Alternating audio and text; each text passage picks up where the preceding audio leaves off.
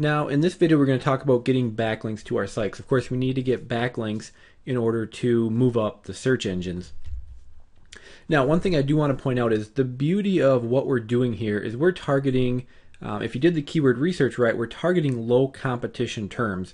So we're not going to have to do, you know, a ton of really aggressive backlinking because again, we're going against uh, pretty uh, small competition terms. Um, so I'm going to give you some great backlink sources here. Um, in most cases, in most of the sites I've built, uh, this is enough to get you ranked. Now, in some cases, you will need to do more or continue to do it month after month. Uh, but these I'm going to show you here are a great place um, to go out and get your backlinks.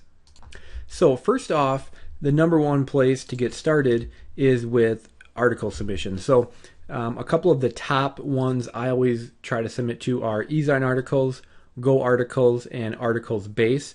Um, articles Base actually no follows um, their links in most cases, and that is not something I worry about because when we're trying to optimize for the search engines, we want to look as natural as possible. So if you think about it, is it natural for a website to have 100% of its links be do follow? Um, absolutely not. So you want to, you know, there's nothing wrong with getting no follow links. In my opinion, um, they do count, uh, maybe not as much as a uh, do follow link, uh, but it's not something I avoid at all because it just looks natural. And if you're not familiar with do follow or no follow, then don't even worry about it. Um, so I always make sure and submit an article to Ezine, Go Articles, and Articles Base. Um, one thing I want to point out is I would submit unique content to each of these three. So submit a different article to each. Um, and they're a great place to get you know your first links kind of out and going. Then we have second tier article directories, and there is literally hundreds and hundreds of them. Um, so I'm not going to give a list. What I usually like to do is if you go to Fiverr.com and just do a search for um, article submission or something like that, there's plenty of services out there that will or plenty of people on there that will submit your article to the second tier directories. Uh, now, a couple things to point out. When we do article submissions, of course, you get a little resource box where you can put a link back to your site. You want to make sure you're using an anchor text that is for the keyword you're trying to rank for, of course. Uh, but another thing is you want to vary that anchor text. You don't want to have 100 links and they all be the exact same anchor text. Again, that doesn't look natural. Um, it looks like over optimization and it's not going to help you. So make sure you're always varying your anchor text, um, just putting kind of related terms in there, any variations you found during your keyword research. Um, so again, you do want to vary those. You don't want to keep using the same anchor anchor text over and over and over. But again, to get started, I would submit an article to Ezine Articles, Go Articles, and Articles Base. Um, three different articles um, and different anchor text on all of those. And I usually, you know, when you're first getting started, it's a good idea to do article submissions every single week. Um, it's a great place to get links from. Um, a benefit is a lot of these sites get a lot of traffic, so people will actually read your articles and then click over to your site. So you get traffic that way, and you get the SEO benefit. Um, then after you've done those, um, and you wait a little bit, then I would go ahead and start submitting some to the second tier directories. Um, you don't want to do a gigantic blast because again, we want to build links slowly over time. Um, but again, Fiverr is a great place to start utilizing the second tier ones. Um, and the, in my list of Ezine articles, Go articles, and articles base isn't a definitive list. It's just three I like to use. Um, there's a lot of other what I would call tier one article directories, um, but they change so rapidly. Um, I'm just going to list those three because those three have been good for quite some time. After that, another powerful tool to use is a tool called Unique Article Wizard. And what this basically does is you put in an article and then you put in, uh, we basically put in three variations of an article and then they'll kind of mix up which paragraph they use. Uh, if you never use them, don't worry about it, they explain it all. Um, but it works very, very good, and then they go out and then they kind of submit those articles um, to a bunch of different sites. And it's a great way to get a bunch of backlinks. Um, again, this is something I would do um, after you've done your tier one articles, you know, get some links flowing in and then start using Unique Article Wizard. Um, and again, you want to use these slowly. You don't want to blast a ton of links right off the bat. But again, with Unique Article Wizard, vary your anchor text. Um, it's also a good idea to not always use a keyword as your anchor text. So feel free to use um, your actual URL as the anchor text. Again, that just looks normal. um, or even use words like click here, more information, or maybe like the official name of your site. You want to be varying that.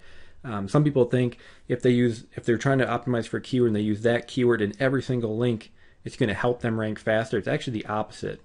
Um, you're going to actually do harm by not varying your anchor text. Again, you want to be doing that. With Unique Article Wizard, it's also a good idea to spin the article. Um, and a great tool is the Best Spinner. I use the Best Spinner basically all the time to spin content. Um, a couple pointers on that. They have an auto spin feature that will automatically spin your article. The problem is when you um, the articles you get out sometimes sometimes aren't that high quality, and you really don't want to be submitting junk out there. Google's really cracking down on that kind of stuff. So what I like to do is I spin whole sentences. Um, so you have a sentence, then just rewrite that entire sentence. Um, it's a better way to spin because you get readable, um, good content. Um, you don't end up with kind of unreadable junk. Um, so again, Unique Article Wizard. Start using that, and I of course spin those with the best spinner. Um, another great one to use is a press release. Um, what you basically do is you might think, well, my site, you know, how do I write a press release for my site? Well, actually, the sites we're creating work great because um, what you can do is, for example, I could write a press release about um, the site I was using and say, um, best sleeping bags review or bestsleepingbags.com releases its rankings of the top three sleeping bags. Um, that's a newsworthy item.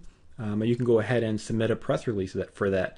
Now, press releases do have a format that you want to follow. Um, any service that you use will show you that. One that I like to use is a service called WebWire. What they'll do is you basically put in your press release and then they will distribute it for you. It's a great way um, to get a lot of links and get kind of vary where you're getting anchor text because it's going to show up on a lot of um, news sites and a lot of other random sites will pick it up. Um, press releases are a great way um, to get backlinks back to your site, and they are completely natural. You know, every um, large company out there releases press releases. You know, there's really nothing wrong with doing that. So it's a nice, safe way to get more links and also to um, extend the um, places where they're coming from. And again, with press releases, same thing goes. Make sure you're varying your anchor text. Don't be afraid to use your actual URL as your um, anchor text. because Again, it just looks natural. So with the press release, I like to use WebWire. There's a lot of services out there. You know, like PR Web is the big dog, but you know, it costs like 300 bucks to submit one. And for this purpose, we just don't need that. Um, so I would submit a press release um, you know, right after your site's done, kind of announce that it's launching and that, that and that you've released your rankings of the top three products, and then just write a little press release, submit it. Um, it's a good place to get some links back to your site as well. Another great one are videos. Uh, we all know videos are rapidly taking over the web. Um, so what you can do is, first off, I would create a video that just talks about um, the three products that you rated um, you know, one, two, and three. Just go through those. You can make a little PowerPoint presentation like I'm doing here, and then just go ahead and submit it to YouTube. Um, one key that you want to make sure you do is in the description field, you want your URL with you know the full URL to HTTP um, as the first thing you put in the description because that is how people will be able to click and get back to your site. Um, it's also going to get you a backlink as well. And from there forward, like I would do the video um, talking about your three top products or however many you did, I would do that right away. And then you can submit, submit additional videos um, with each product you review. And it can basically just be um, you reading through the product review with some you know pictures, what have you. Um, and again, putting your URL. And in those, I would put the URL to that that post for that exact product review. Um, and then also make sure on your YouTube page you can put a link back to your site as well. Um, we all know Google loves YouTube, they own them, um, so it's a great place to be getting links from as well. And lastly, there are directories. Now, directories are just basically you submit your site to the directory, um, and the directory just lists, you know, sites on the web. Uh, these aren't, I wouldn't call these powerful at all. What they are great for is further di- diversifying where you're getting your links from. And when I use directories, I would almost always use my URL as the anchor text. Because again, I hate to you know, be redundant here, but we want to be varying our anchor text um, and making it look natural. So having links that point back to your site with just your URL as the actual anchor text. Um, so the actual HTTP semicolon um, it just looks natural, and it's good to have those to vary your anchor text. And directories are a great place to get those. Um, same thing with directories. An easy way to go out and use those are on Fiverr. Um, very easy um, to find somebody on there to do them for five bucks, and they'll submit them um, to directories. There's also tools out there, but you know nowadays with Fiverr, um, really the easiest to use. Uh, and that that is all you need to be doing for backlinking. Again, we're targeting low competition um, keywords, so we don't need a ton of links. Again, kind of the battle plan. Start with the top tier article directories. Go ahead and submit an article to each of those. Um, then you can do some of the second tier ones. Um, give it a little time, let those get found so you have some links back to your site, make sure everything's indexed. And then I would also use uh, Unique Article Wizard, um, submit an article with that. And then going forward, you can look to use them uh, maybe on more of a monthly basis, kind of just monitor your rankings and see if you need more um, links going back. Um, I would also do the press release right away, kind of announcing your top three products. Uh, again, I like to use WebWire. Um, and then videos you can always be doing. Um, those are never going to harm anything. And remember to be putting your uh, URL in the description. And then lastly, the directories. Again, just a way to vary your anchor text um, and get get a wider range of backlinks back to your site. Um, so that is it for backlinks. Um, go ahead, start doing those. Again, I'm going to pound this this uh, point home. Make sure you vary your anchor text. We want it to look natural, and don't be afraid of getting uh, do follow and no follow links. It's only going to look more natural. So that is your backlink uh, battle plan. Go out and start getting your some backlinks. Monitor your rankings. Then just keep you know following uh, the process more and more until the rankings um, get onto that first page and up to the top of the rankings.